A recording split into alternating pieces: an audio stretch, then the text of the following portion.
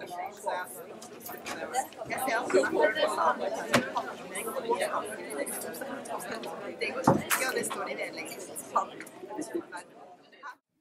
har skjedd noe i deres liv som er viktig å få tak i. Det, de, når man snakker om eh, drapet på Benjamin Hermansen, og de eh, som gjorde det, som var fra Bøler Når man går gjennom livshistorien deres, så vet vi også at noe har skjedd. Det er utelukkende for de ungdommene vi har møtt, som vi har jobba individuelt med, hvert en eller annen episode som har gjort at de har utvikla en ny tanke og ønsket å få trygghet i en annen gruppe. Som har gjort at de har søkt. Det kan være veldig mange ting, og noen ganger så tenker vi så stort. Vi tenker sånn i bokser. At det må være vold, og det må være det, og det må være det. Men det er ikke det. det utfordringen vår er å finne den bitte, bitte lille tingen som, som gjør at vi forstår.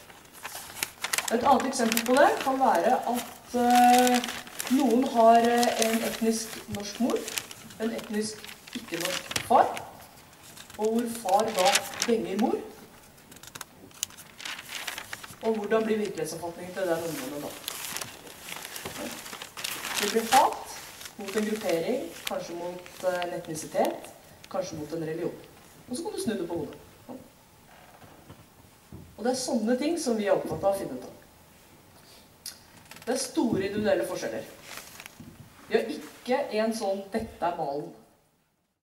Ja, kanskje noe av det viktigste et nærmiljø kan gjøre, er å, er å ta vare på menneskene som bor der.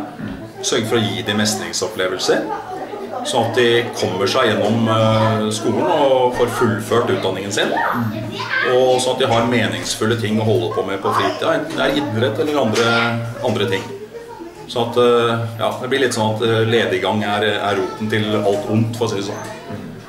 Så kanskje også hjelpe ungdom til å, til å få gode fremtidsutsikter. Sånn at de vet at de, hvis de gjør en innsats på skolen, får seg en, en, utdanning, så vil de få jobb når de kommer ut i arbeidslivet. For det er ikke bra hvis vi får det sånn at uh, ungdom mister, mister troa på fremtiden. Det, det er lite konstruktivt. Det kan føre til mye elendighet.